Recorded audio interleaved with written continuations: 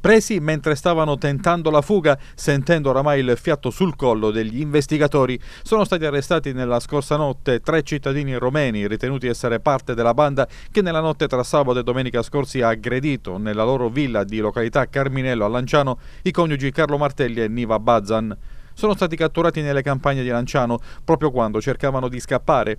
Avevano capito che il cerchio intorno a loro si stava stringendo, ma sono stati braccati e acciuffati per poi essere portati al commissariato di polizia di Lanciano per essere interrogati. Avevano con sé giubbini e soldi, probabilmente quelli prelevati con le carte di credito e bancomat della coppia e che sono dunque riconducibili al misfatto di alcuni giorni fa. Sempre al commissariato è stata portata con il carro attrezzi anche la macchina utilizzata dalla banda, una Golf blu con targa romena.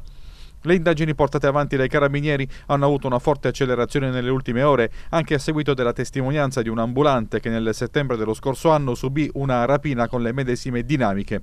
Gli occhi delle forze dell'ordine erano da tempo puntati su di loro per precedenti episodi, sempre consumati nel territorio frentano e sempre caratterizzati da una particolare cruenza.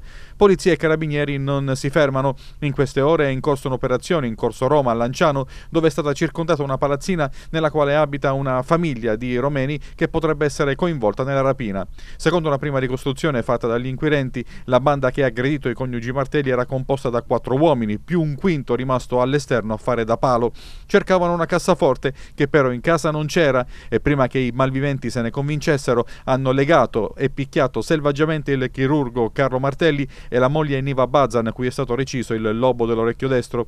Per placare la rabbia della banda, la coppia ha consegnato loro carte di credito e bancomat che hanno hanno subito utilizzato per fare prelievi nella filiale Ubibanca in via per Fossa Cesia.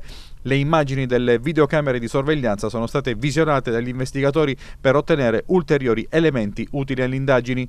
Sugli arresti fatti nella notte si è espresso anche il vice premier e ministro dell'interno Matteo Salvini che in un tweet ha scritto coniugi massacrati a Lanciano in manette tre romeni che stavano fuggendo con i soldi rubati. Grazie alle nostre forze dell'ordine queste bestie devono marcire in galera. Tolleranza zero.